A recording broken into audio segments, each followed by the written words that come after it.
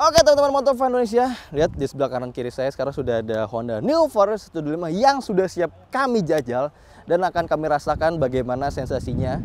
Ya, walaupun emang kalau secara fisik sih kayaknya perubahannya nggak terlalu banyak ya, ada di body dan velg sih. Cuma nggak tahu nih, kira-kira di impresinya akan berubah apa nggak? Saksikan terus sampai habis.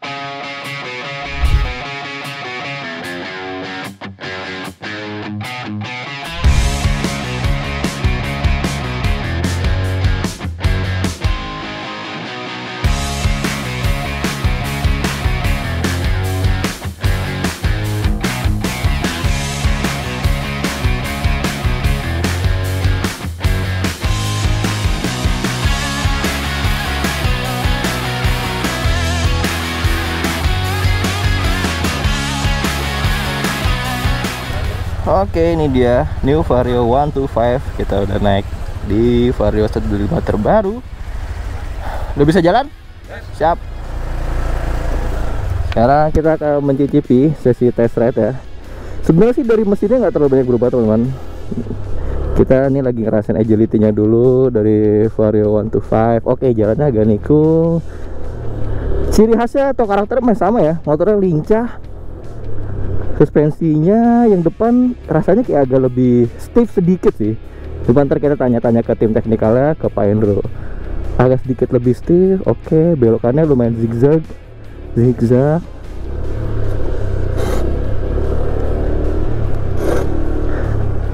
Oke okay, lincah. Depannya lumayan stiff dan dia nggak terlalu limbung jadinya sih karena dia agak keras jadi dia bisa mengakomodir bobotnya ya. Wih, sampai gasruk-gasruk standar tengah masih enak motornya. Oke ke sini. Sini. Oke tenaganya masih ciri khas Faro 125 banget ya. Sekarang kita belok. Kita belok lagi patah kanan. Kita belok lagi patah kiri. Patah kanan lagi. Oke motornya lincah banget. Apalagi kan nih bannya dan velgnya kan baru ya lebih lebar ya otomatis dia bener-bener ini sih bener-bener bisa mengakomodir banget. Karena dia bannya lebih lebar dan seleknya lebih lebar otomatis tuh kalau belok makin pede teman-teman. Karena kan dia gripnya lebih banyak ya. Gripnya lebih banyak lebih pede juga kita ngeliuk-ngeliuk. Oke ini kita kayak lagi gym cana ya. Suspensinya enak banget yang depan kerasa lebih kencang gitu lebih nahan motornya. Cuma nih sayangnya nggak ada obstacle ya nggak ada obstacle posisi tidur jadi kita nggak bisa nyobain nih uh, motor ini tuh karakter suspensinya beneran berubah apa enggak sih? Karena ini kan jalannya full mulus ya. Kalau full mulus ya otomatis motor enak lah. Yang belakang kita juga ya agak sedikit empuk sih kalau digenjot-genjot gini ya. Terus joknya joknya yang saya rasain ini agak sedikit berbeda teman-teman. Agak istimewa lah ya. Rasanya sih ditekan-tekan gini nih lebih empuk nih. Agak ya rasanya sih agak ya. Cuma nggak tahu nih kalau dipakai berkendara lama dimensinya masih sama lumayan lebar eh, pantat pasti terakomodir. Terus juga lihat nih sepatu ukuran 43 masih lumayan lega. Depan belakang masih ada ruang tengahnya juga masih lu banyak ruangnya. Posisi berkendara masih mirip. Di sini stangnya khasnya vario banget. Dia rendah dan dia sporty gini ya. Dia tuh agak nekuknya ke belakang gini nih. Nah gitu. Jadinya tuh kayak memberi kesan sporty banget sama si pengendaranya. Oke ini kita masuk lagi. Apakah sudah finish sebenarnya masih kurang sih. Apakah bisa lagi ya? Saya tanya wah ternyata udahan teman-teman. Sayang banget ya cuma dapat dua lap doang sih.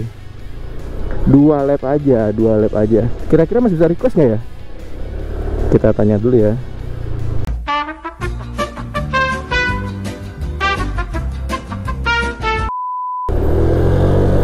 Oke. Jadi emang ciri khasnya tuh vario banget teman motornya lincah gitu kan terus juga selalu nurut mudah ajak mana-mana. Set kita kira Leo kita agak agresif gini. Motornya selalu nurut. Motornya selalu nurut. Set. Set set. Remnya enak Tokicho satu piston depan dan pistonnya agak besar ya. Kita liuk-liuk masih aman banget.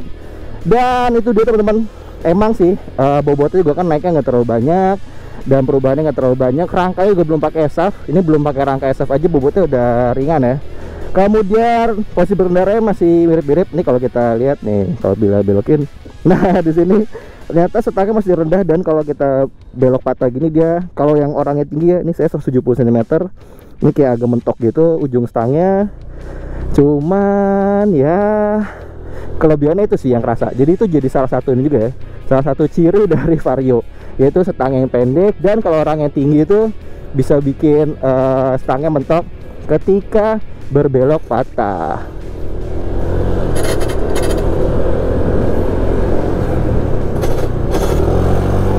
Kita belok lagi udah sini kita putar balik. Kita nyobain apa lagi di sini ya?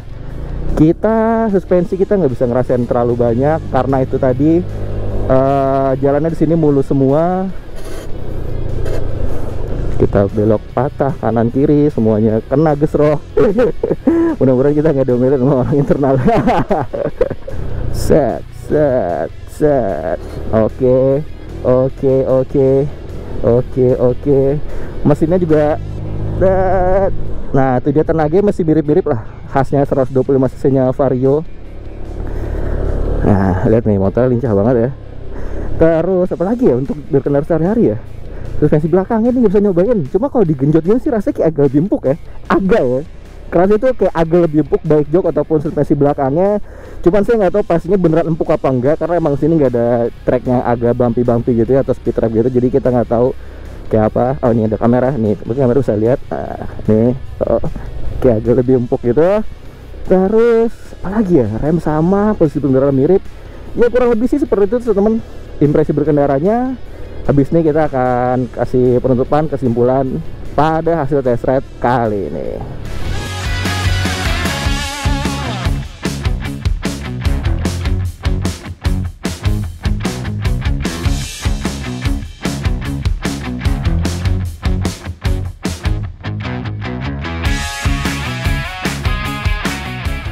Oke teman-teman, jadi tadi kami sudah mencicipi New Vario 125 ini dan kesimpulannya adalah ternyata impresi berkendara tetap sama lah. Jadi si Vario 125 tetap memberikan sensasi berkendara yang lincah, terus juga lumayan agresif dan responsif lah. Ya sesuai dengan core dan juga konsep desain dari si Honda Vario 125 ini.